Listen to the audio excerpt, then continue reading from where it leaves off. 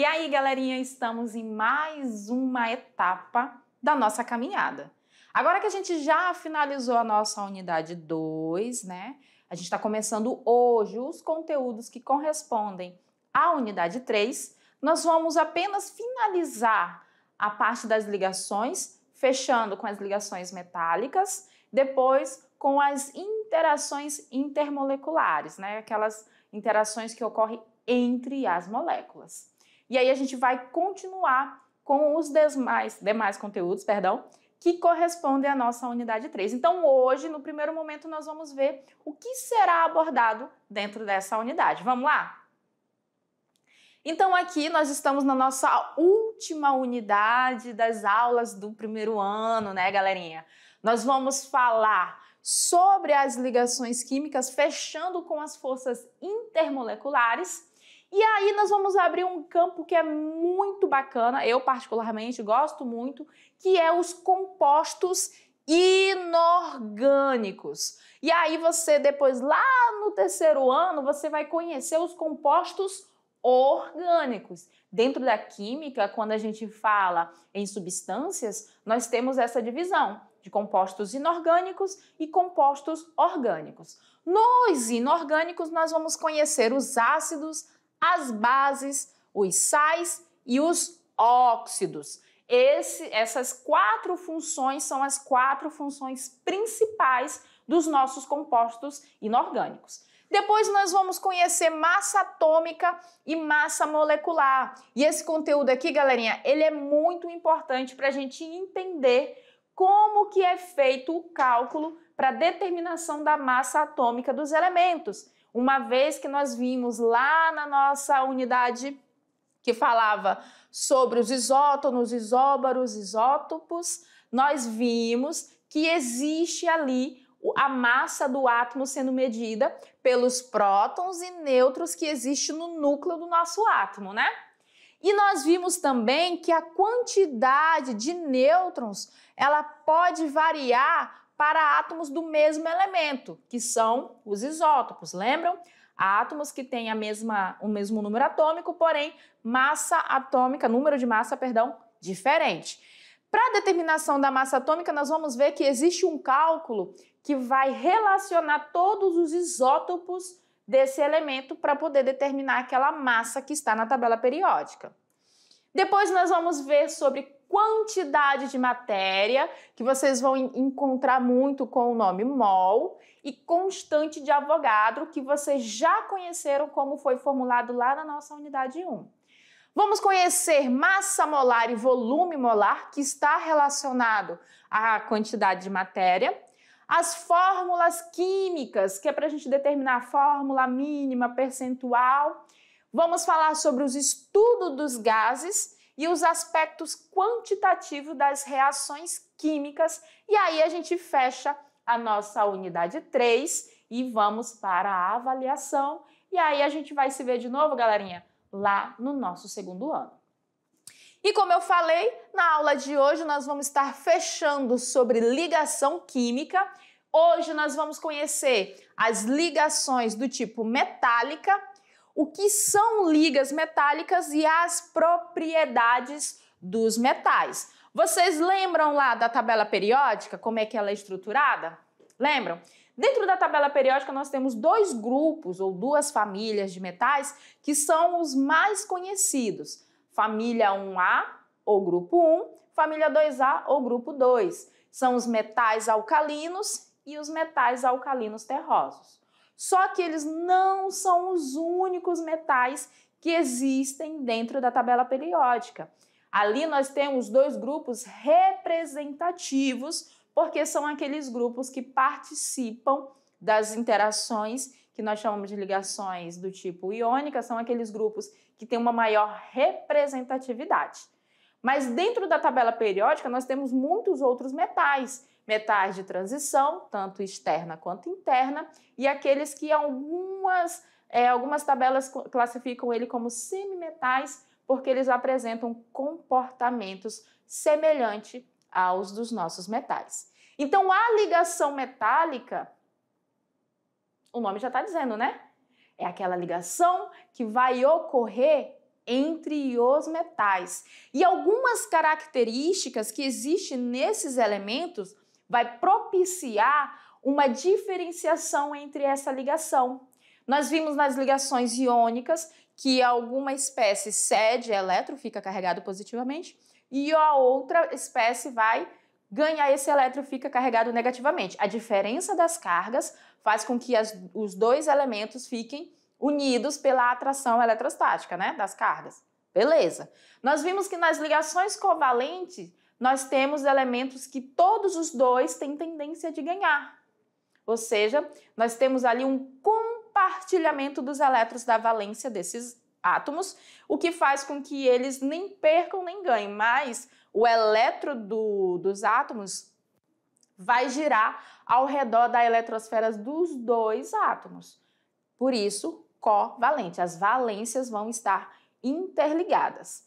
E nas ligações metálicas, aí a gente vai ter a interação entre metais. Ligação iônica, metal e não metal. Ligação covalente, não metal e não metal. E nas ligações metálicas, vamos ter metal ligando-se a outro metal. Tranquilo? Então vamos lá no slide para a gente continuar acompanhando essa parte das ligações químicas. Então, como eu já falei, ligação metálica é a ligação que ocorre entre metais e metais. Então, nós vamos ter ali a formação do que nós chamamos de ligas metálicas, que são muito importantes para o nosso estudo dentro da química, tá? E são muito utilizados no nosso dia a dia.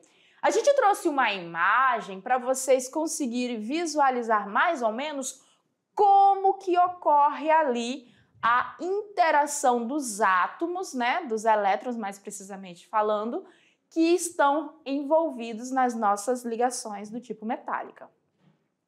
Essa ligação é formada pela interação entre átomos metálicos por meio de seus elétrons de valência. Ó, detalhe que se movimentam livremente, ou seja, o metal é um aglomerado de átomos neutros e cátions mergulhados em uma nuvem ou mar de elétrons livres. Então aqui a gente tem, né, por exemplo, um íon metálico, onde a gente tem lá o seu núcleo, no núcleo prótons e nêutrons, então o núcleo tem carga positiva, já que o nêutron não tem carga nenhuma e o próton é positivo. E ao redor nós temos aí os elétrons. Então, quando a gente tem uma interação dentre ali as ligas metálicas, nós vamos ter uma aproximação desses átomos, onde esses elétrons eles não são perdidos e nem ganhados, eles são atraídos pelos seus núcleos, né, os núcleos dos átomos, e eles ficam livres, por isso que recebe o nome de nuvem ou mar de elétrons de valência, que são elétrons móveis. Uma vez que os elétrons são bons condutores de corrente elétrica, é de se esperar que eles possuam em sua estrutura elétrons livres para que se movimentem, né? Para se movimentarem.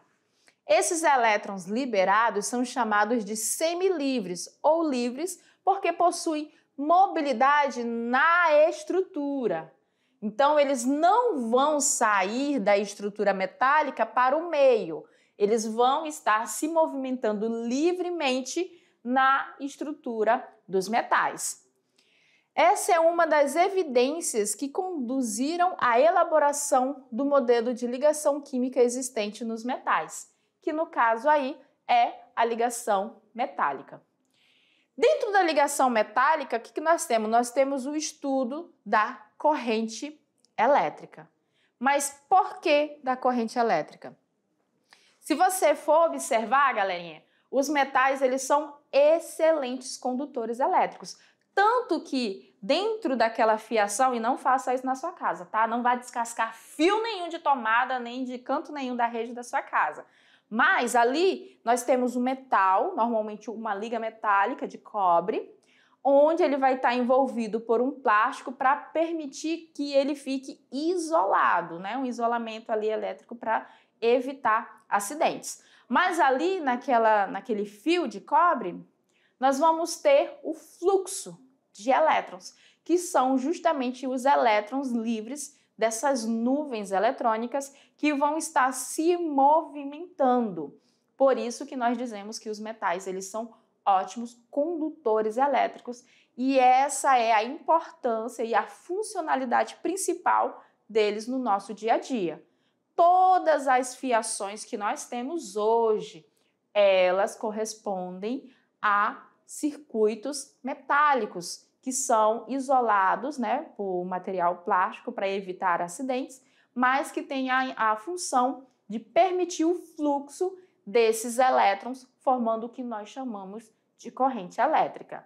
Quem aqui entre vocês já teve a experiência de chegar num local ou de manhã cedo ou um local refrigerado e ter tipo um balcão ou uma cadeira com uma parte metálica e aquela parte metálica está extremamente fria? Que acontece? Quando a gente toca numa superfície metálica e a gente tem a sensação de frio, por que, que você tem essa sensação? Alguém sabe? Porque da mesma forma que o metal ele é um ótimo condutor elétrico, né, de corrente elétrica, ele também ele é um ótimo condutor de calor.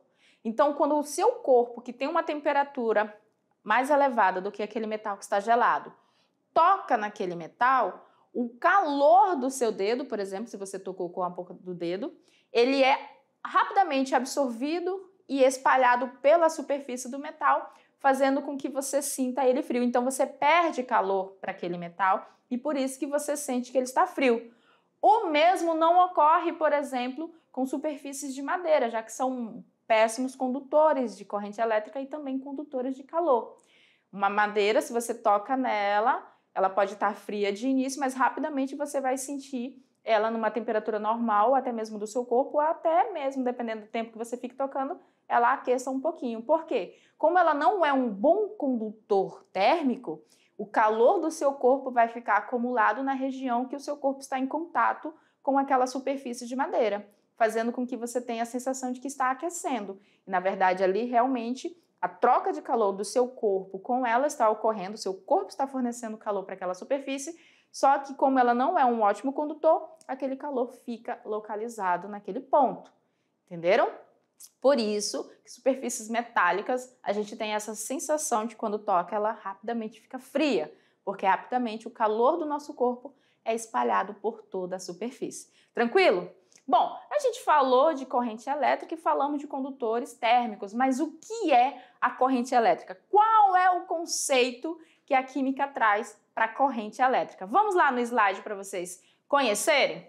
Bom, corrente elétrica, gente, nada mais é do que um fluxo ordenado de cargas elétricas em movimento. Por isso o nome corrente elétrica.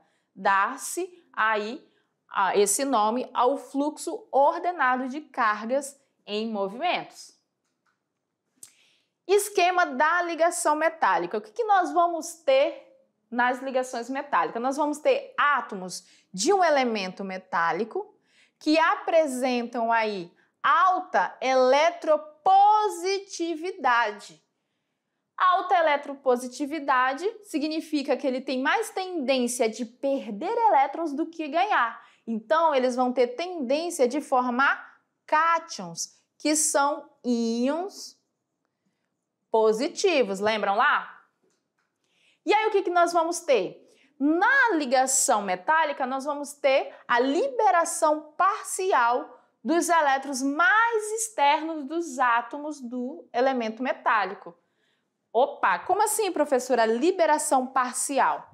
O que, que acontece ali? Nós vamos ter metais que vão estar se ligando. Como que isso vai acontecer? Por eles serem mais elétrons positivos, eles têm grande tendência de perder elétrons. Né? Então, aquele metal que tiver maior tendência de perder, os elétrons da valência dele vão ficar parcialmente livres. O que, que isso quer dizer? Que eles vão ficar ali no cristalino metálico em movimento. Eles não vão se perder para o meio, mas dentro do, do metal no qual ele está ligado, no qual o elemento está ligado, aquele elétron daquela valência que tem tendência de perder, ele vai se desprender e vai ficar vagando livremente no mar de elétrons que a gente comentou no início da aula. Entenderam? Então vamos lá para a gente continuar o esquema. Então a gente viu que os átomos do elemento metálico eles apresentam tendência de formar cátions. Por isso, essa tendência, eles vão realmente formar esses íons lá dentro da ligação. Como? O íon vai surgir a partir do momento que esse átomo faz a liberação parcial desses elétrons mais externos, ou seja, da sua camada de valência, e os átomos desse, desse os elétrons, perdão, desse átomo vão ficar ali dentro da nuvem, né, naquele mar de elétrons livres vagando na superfície metálica. Então, nós vamos ter cátions formados. Por que cátions formados? Porque o meu átomo perdeu elétrons, mas elétrons livres. Então, todas as vezes que nós falarmos de ligação metálica, nós estamos falando de um esquema onde átomos de elementos vão perder seus elétrons dentro das ligações, só que, como nós estamos falando de metais que têm uma grande eletropositividade, esses elétrons eles não vão para a valência dos outros, eles ficam entre os núcleos dos átomos que estão participando dessa ligação. E aí a gente tem a formação de substâncias simples metálicas. Bom, elétrons livres em ligação metálica. Os núcleos dos elementos classificados como os metais, eles não exercem uma atração muito grande sobre os elétrons da sua última camada. Isso porque, lembram lá, o raio atômico desses elementos, a gente falou isso lá nas propriedades da tabela periódica, ele é um raio atômico maior do que os elementos eletronegativos. Lembram lá? Os elementos que são mais eletronegativos, eles têm mais elétrons realmente. Como a gente tem uma grande quantidade de elétrons e também uma grande quantidade de prótons, porque o número atômico deles são maior, vai existir uma atração mais forte entre o núcleo e esses elétrons. Já nos metais, que se você for olhar a tabela periódica bonita da professora. Se você for olhar na tabela periódica, os metais eles estão localizados nesse sentido da tabela. É o sentido onde o raio atômico no mesmo período aumenta. Então, aqui nesses, nesses metais, nós vamos ter uma distância entre o núcleo e a eletrosfera maior. Esse núcleo, por sua vez, não irá exercer uma atração muito grande entre a carga positiva do núcleo e a carga negativa do elétron, lá da sua última camada. Por isso, eles possuem alta tendência de perder esses elétrons. Dessa forma, galerinha, admite-se que um metal sólido é constituído por átomos metálicos em posições ordenadas com seus elétrons de valência livre, para que eles se movimentem por todo o metal. Por isso que nós temos essa representação. Essas cargas negativas que estão aqui estão representando os elétrons livres. Esses elétrons eles vão se movimentar por todo o nosso cristalino, por todo o nosso metal. Então, a atração, a ligação que nós temos aí do tipo metálica, ela se dá pela formação de cátions dos nossos metais e pela atração desses elétrons dos outros átomos um pelos outros. A atração de cargas um pouco semelhante ao que nós temos na ligação iônica. Só que na ligação iônica, galerinha, a carga de fato do cátion ou do ânion, ela somente surge quando a gente coloca eles em meio aquoso. Quando o composto ali iônico está formado, a carga positiva com a negativa se anulam pela atração.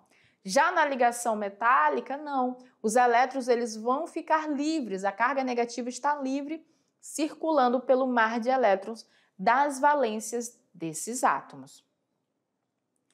Então, como modelo de ligação metálica, nós temos os, cátions do metal agrupam-se segundo um arranjo geométrico definido, denominado estrutura, cristalina ou célula unitária. Então, quando falar de estrutura cristalina ou célula unitária, nós estamos falando de ligação metálica, nós estamos falando de um aglomerado, quase não sai, galerinha, a língua da professora hoje está travada.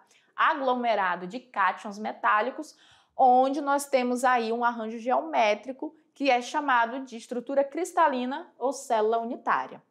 Nesse ponto aqui, ó, o que, que nós vamos ter? Esses cátions metálicos, eles vão formar as células unitárias, eles têm cargas positivas que são estabilizadas pelos elétrons semilivres que ficam envolvidos em uma estrutura como uma nuvem eletrônica. Então, aqui, por que cátions?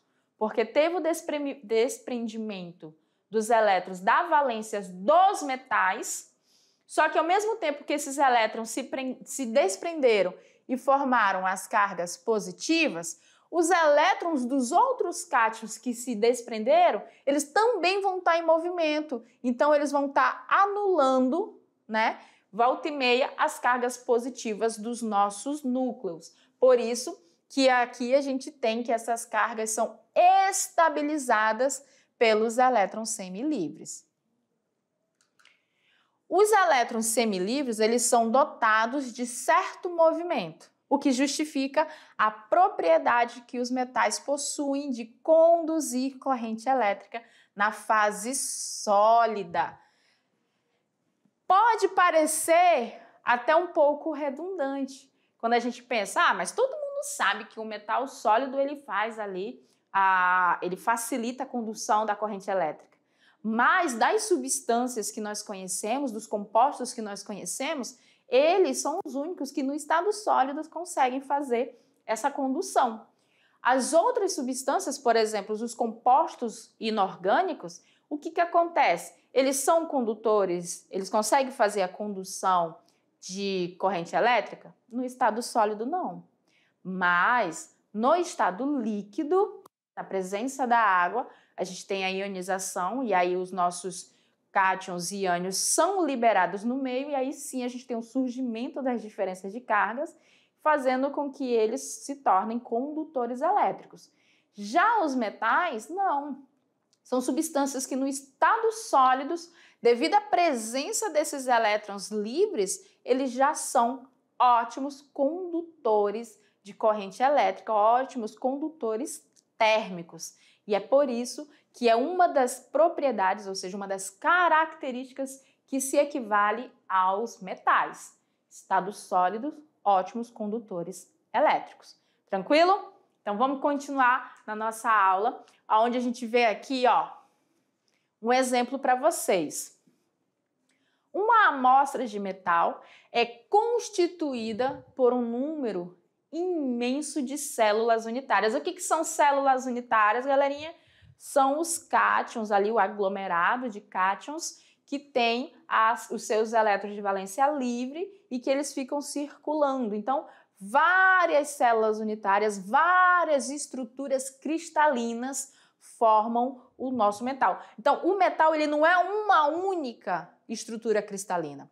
Nós vamos ter um aglomerado de várias estruturas cristalinas. Então, por exemplo, aqui, ó, o sódio metálico, ele vai ter um arranjo de corpo centrado. Olha ele aqui, o sódio metálico, tá vendo? Esse é o cubo de corpo centrado, tanto que recebe o CCC. Já o alumínio metálico, ele é um arranjo de cubo de face centrada, que é esse daqui. Então, quando a gente fala do metal alumínio, nós vamos ter vários arranjos, várias estruturas cristalinas que vão apresentar esse tipo de interação, esse tipo de ligação. Então, aqui é o nosso átomo e essas aqui são os espaços por onde os nossos elétrons vão estar ali, né, vagando, formando as nossas interações metálicas. E ó, vários átomos de alumínio ligados através dessa estrutura. Já que para o sódio, nós vamos ter várias estruturas cristalinas de corpo, de cúbico, né, de corpo centrado, onde os nossos átomos vão apresentar essas estruturas aqui e os nossos elétrons vão proporcionar que a carga do nosso núcleo, quando fica positiva, se mantenha dentro dessa estrutura, atraídos pela carga negativa dos elétrons que estão vagando nessa nuvem. Tranquilo, galerinha? Então vamos agora fazer um aprender fazendo para a gente praticar um pouquinho mais e você poder fixar melhor sobre as ligações metálicas? Então vamos aqui no exemplo número 1. Um.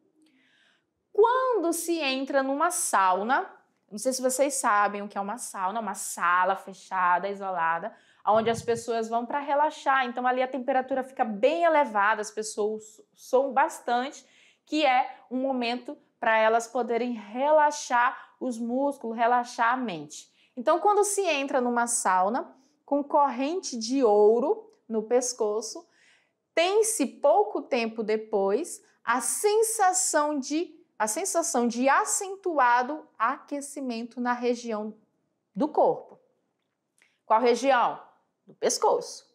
O fenômeno ocorre como consequência da e aí tem, ó, Letra A, temperatura mais elevada da pele.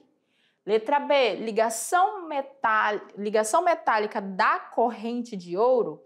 Letra C, transferências de elétrons da pele, ó, presta atenção, viu? Para o metal. D, transferência de calor da pele para o metal. E letra E, transferência de calor do metal para a pele. Então vamos analisar essa questão aqui rapidinho. Vamos lá. Digamos que vocês entraram numa sala, né, uma sala de aula quente, e aí tá todo mundo ali, a temperatura daquele ambiente vai continuar subindo, vai continuar aquecendo. Essa é a estrutura, a função de uma sauna. E aí você entrou com uma pulseira, né, de ouro lá, um cordão, porque eu posso, eu tenho e eu vou mostrar que eu tenho. E com o tempo com a elevação da temperatura daquele ambiente, você começa a notar que a região aonde se encontra a sua pulseira de ouro, o seu colar, o seu cordão de ouro, como o caso do exemplo, começa a aquecer. A pergunta quer que você diga: por que, que o seu corpo está identificando esse aumento de temperatura localizado?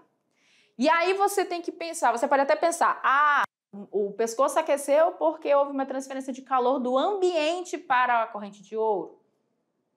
Aí tem aquela alternativa que fala que o calor da pele foi transferido para a corrente ou para a pulseira. Entendam, a sensação de calor, por que, que ela aconteceu? Primeiro ponto, o nosso metal ele é um ótimo condutor térmico, um ótimo condutor de calor. Então, à medida que o ambiente está aquecendo, ele está recebendo aquele calor. Só que ele não recebe guarda. Ele vai fazer com que esse calor siga o fluxo e vai transferir para o ambiente. Qual é o ambiente que ele está em maior contato naquele momento?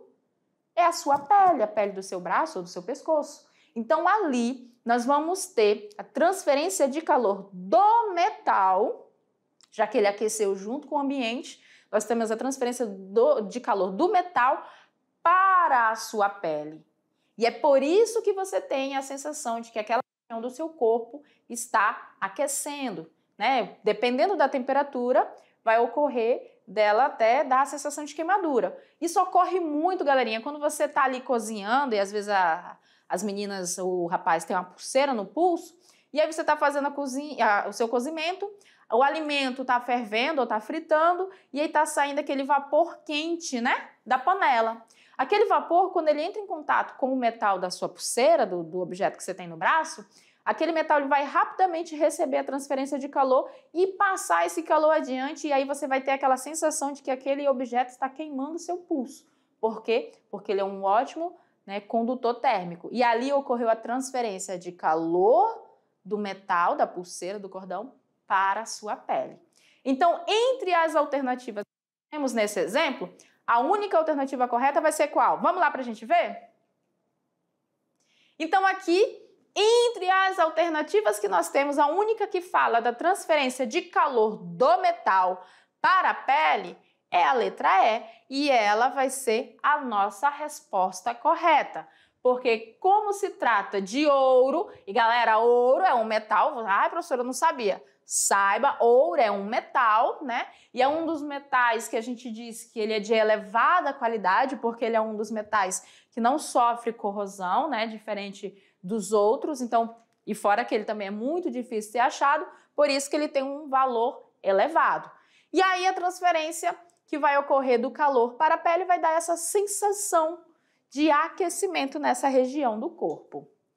Agora vamos falar um pouquinho sobre a liga metálica. Gente, liga metálica, nós temos alguns exemplos, como o ouro de 18 quilates, que não é 100% ouro. Nós temos o bronze, o latão e aço, que são materiais que apresentam uma característica comum.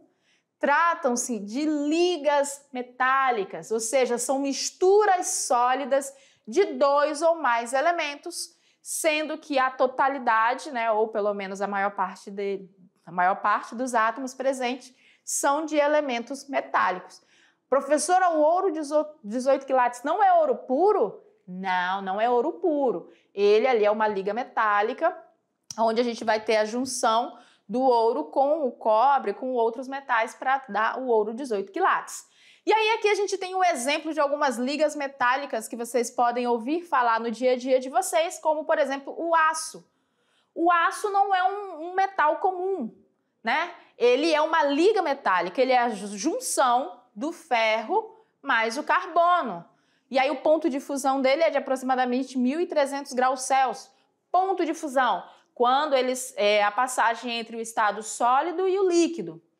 Ele é fabricado, ele é utilizado na fabricação de outras ligas. O aço inox, já viram lá o inox?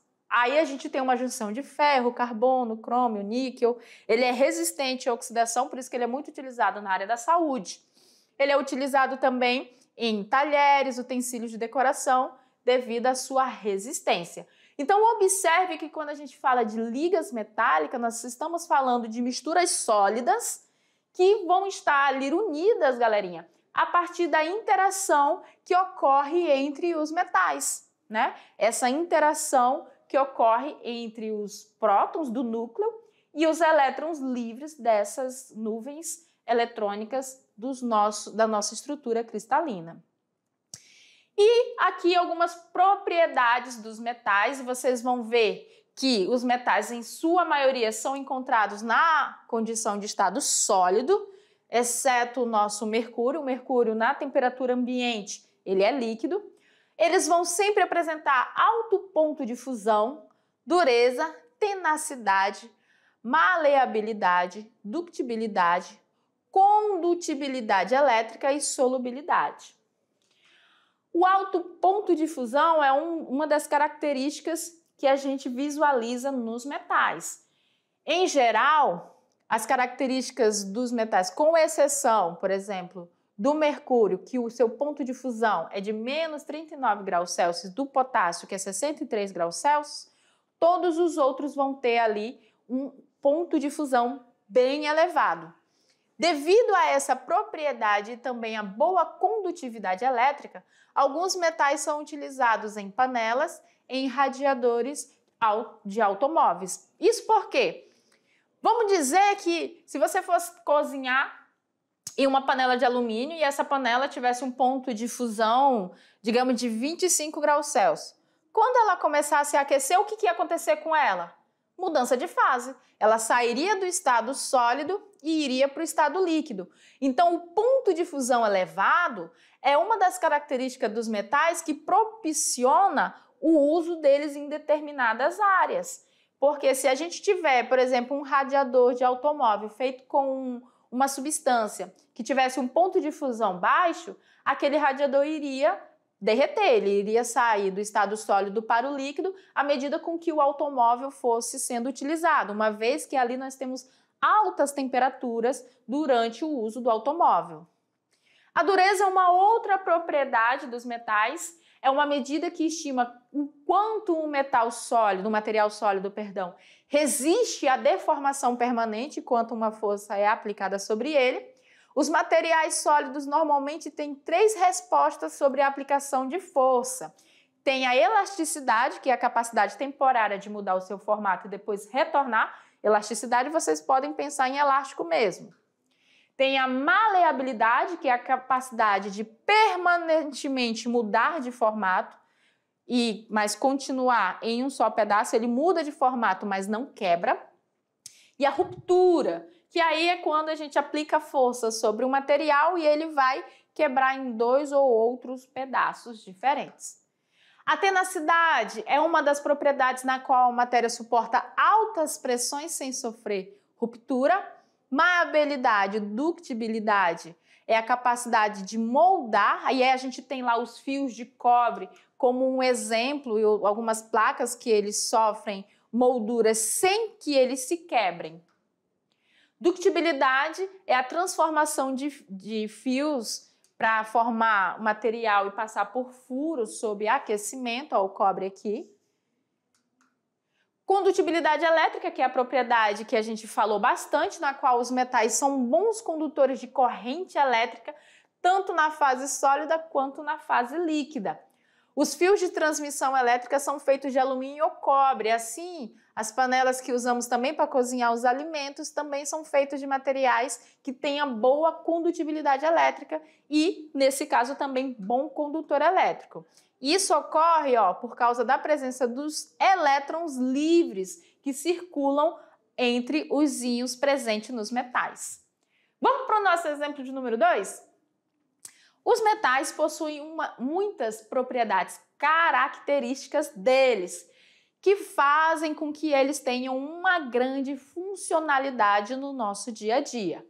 Essas propriedades vêm do tipo da estrutura e do tipo de ligação dos metais. As propriedades ductibilidade, maleabilidade, brilho e condutividade elétrica caracterizam, respectivamente, Aí ele quer que você diga qual desses caras aqui são caracterizados por essas propriedades.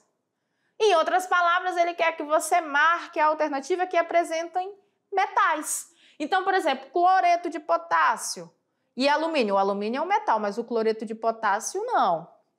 Cobre e prata. Tanto cobre quanto a prata são metais. C. Talco, vocês sabem qual é o talco, né? E mercúrio. O mercúrio é um metal, mas o talco não. Grafita e diamante. Nem grafite nem diamante são metais. O aço é uma liga metálica, mas o PVC não é. Então a nossa alternativa correta é a letra B. As características citadas são propriedades do metais. Por isso que a letra B, que é onde nós temos dois metais, é a alternativa correta. E o nosso exemplo número 3 diz o seguinte: os metais explorados desde a idade do bronze são muito utilizados até hoje. Por exemplo, na aeronáutica, na eletrônica, na comunicação, na construção civil e na indústria automobilística. Sobre os metais, pode-se afirmar que são: letra A, bons condutores de calor, e de eletricidade, assim como os não metais, olha só, aqui tá certo, eles são bom condutor de calor e de eletricidade, mas os não metais não são, então a letra A tá fora. B. São materiais que quebram com facilidade, característica semelhante ao dos cristais. Não, a gente viu ali que eles têm uma grande resistência. C. São materiais que apresentam baixo ponto de fusão. Ah, gente, nós falamos agora que aqui eles têm o quê? Alto ponto de fusão, com exceção lá do nosso mercúrio, né? D. São encontrados facilmente na forma pura ou metálica, sendo misturados a outros metais, formando minerais. Quando a gente mistura metais a outros metais, nós formamos ligas metálicas. Lembrem disso. Letra E. São maleáveis, transformando-se em lâminas, por exemplo, quando golpeados ou submetido ao rolo compressor. Eles são sim maleáveis, essa é a nossa alternativa correta. E aí a gente fecha com a nossa questão de número 4, que fala o seguinte: o termo metal, palavra oriunda do grego metalon, refere-se a uma das quatro classificações propostas para os elementos químicos na tabela periódica, sendo as outras a metais, gases nobres e hidrogênio. São metais 94 dos 118 elementos existentes na tabela. A propriedade condutibilidade elétrica dos metais é explicada admitindo-se letra A. Ruptura das ligações metálicas? Não, né? Existência de elétrons livres? Sim. Existência de prótons livres? Os prótons não saem do núcleo, galerinha. D ao núcleo dos átomos dos metais que possuem um número muito grande de prótons? Não. Como eles têm um raio atômico maior, significa que eles têm poucos prótons. Letra E, ao ponto de fusão baixo, primeiro que não são baixos, são altos pontos de fusão. Então, a condutividade elétrica ela é explicada pela existência de elétrons livres, tá? O, lembrando, gente, tem aí os cátions, porque existe o desprendimento dos elétrons? Tem. Mas os cátions, que são provenientes da quantidade de prótons elevadas, eles não estão livres, tá? Os prótons continuam lá no núcleo dos nossos metais. E no mais, a gente tem já já a revisão e a atividade de sala. Então, fique ligadinho.